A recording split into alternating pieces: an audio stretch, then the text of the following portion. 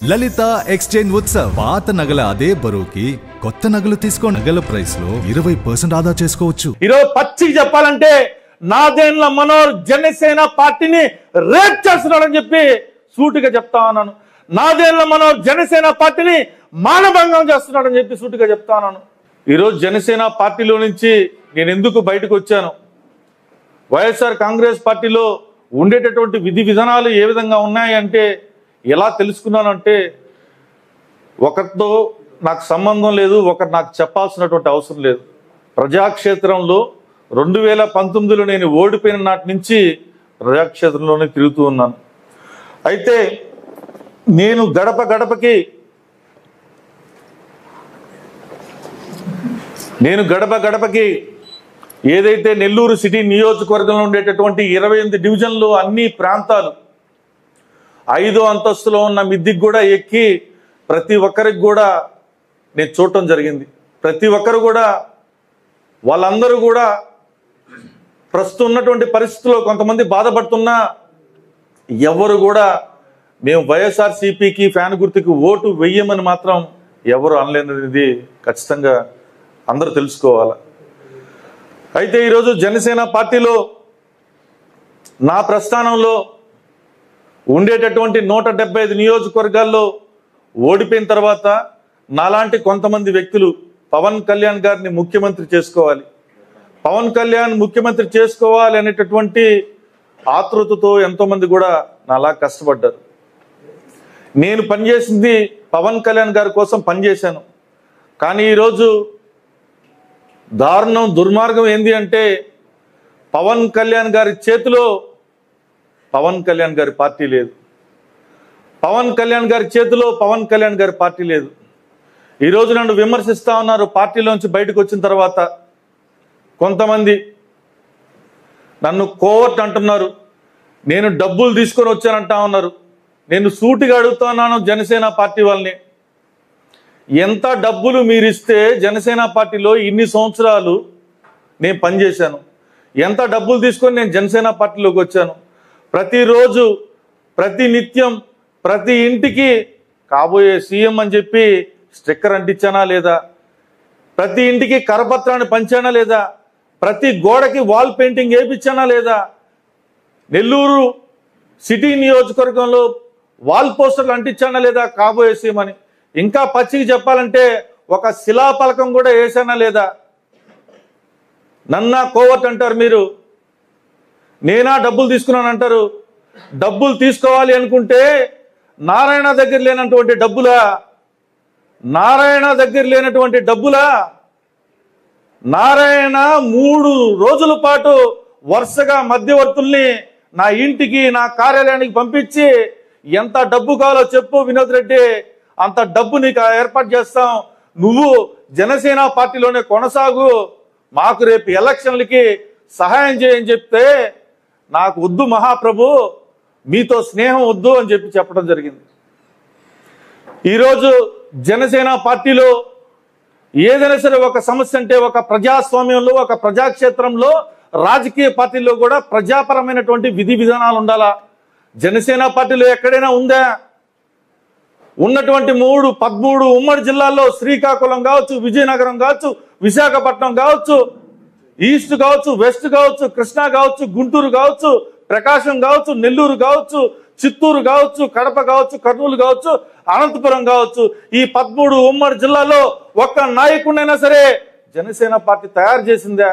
ఎవరైనా కష్టపడతా ఉంటే వాణ్ణి బయటికి ఎలా నెట్టేయాలా? పార్టీ అనేది ఎదగకుండా ఎలా చేయాలా? ఇవన్నీ పవన్ కళ్యాణ్ గారికి తెలియదు.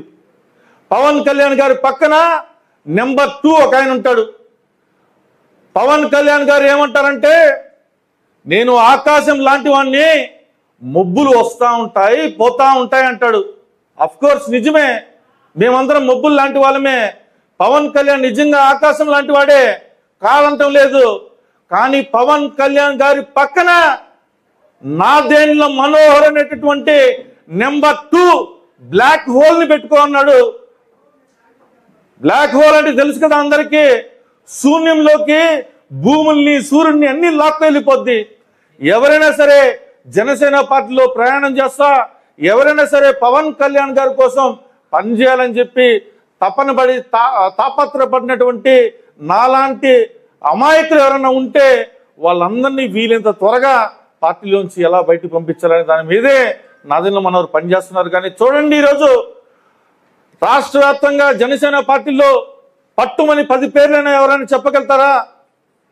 ఎవరైనా సరే కష్టపడేటటువంటి నాయకుల్ని మీరు తెర మీద తీసుకొని వస్తారా? కష్టపడేటటువంటి నాయకుల్ని మీరు పదవులు ఇస్తారా? ఏమయ్యా నేను ఎమ్మెల్యేగా పోటీ చేశాను ఓడిపోయాను నిజాయితీగా జనసేన పార్టీ కోసం పనిచేశాను. నన్ను పిలిచారు పార్టీలో పెద్దలు. మూడు నెలలు నాలుగు నెలల క్రితం పిలిచారు హైదరాబాద్కి. ఒంటరికి రా వినోద్. ఎవరికి చెప్పకు? అన్నారు వెళ్ళాను. నారాయణకి టికెట్ కన్ఫర్మ్ చేశాం. మీరు నారాయణకి పనిచేయాలని చెప్పి నాతో చెప్పారు. నేను అప్పటికి కూడా పార్టీ మీద నిజాయితీగానే తల వంచుకొని మీరు ఎలా చెప్తే అలాగ సార్ మీరు ఎలా చెప్తే అలాగ సార్ నారాయణకి పని చేస్తాను సార్ కానీ నేను ఏమి తల ఎత్తుకొని నెల్లూరు సిటీ నియోజకవర్గంలో తెలుగుదేశం పార్టీ నాయకుల్ని తెలుగుదేశం పార్టీ కార్యకర్తల్ని రేపు ఎలక్షన్ టైంలో జనసేన పార్టీకి కార్పొరేటర్లుగా పోటీ చేసినటువంటి అభ్యర్థులు ఇరవై ఎనిమిది డివిజన్లో ఉండేటటువంటి నాయకులు వాళ్ళకి ఏం జరుగుతుంది వాళ్ళు ఏ విధంగా కమ్యూనికేషన్ చేయాలా ఎలక్షన్ సమన్వయకర్తగా నన్ను నియమించండి అయ్యా అని చెప్పి నేను అడగటం జరిగింది. దానికి మాత్రం మౌనంగా తల వంచుకున్నారు. సరే చేస్తారేమో చేస్తారేమో చేస్తారేమో అని చెప్పి రెండు మూడు నెలలు వెయిట్ చేశా. మూడు నెలల పైనే. ఏమీ చేయలే. చాలా చాలా నిరుత్సాహపడ్డాను వాస్తవంగా. ఇంత కష్టపడి ఇంత చేసి ఎమ్మెల్యే టికెట్ కూడా వద్దయా మీరు చెప్పింది నేను పని చేస్తానయ్యా అన్నా కూడా కనీస గౌరవం కూడా నాకు కల్పించలేదంటే దీనికి కారణం ఎవరు? ఈ నెంబర్ టూగా వ్యవహరించేటటువంటి నాదేండ్ల మనవరు కాదా అని చెప్పి సూటు కడతాను మాకేమో పదవులు లేదు.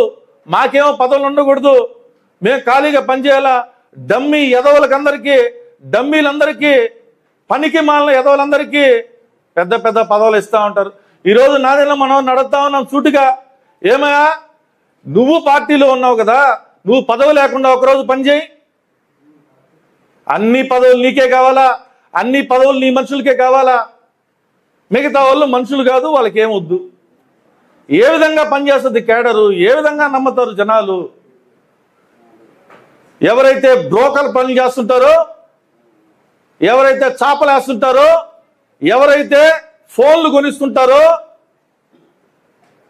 ఎవరైతే డబ్బులు ఇస్తుంటారో వాళ్ళకి మాత్రం జనసేన పార్టీలో అగ్ర తాంబూలాన్ని అందిస్తారు.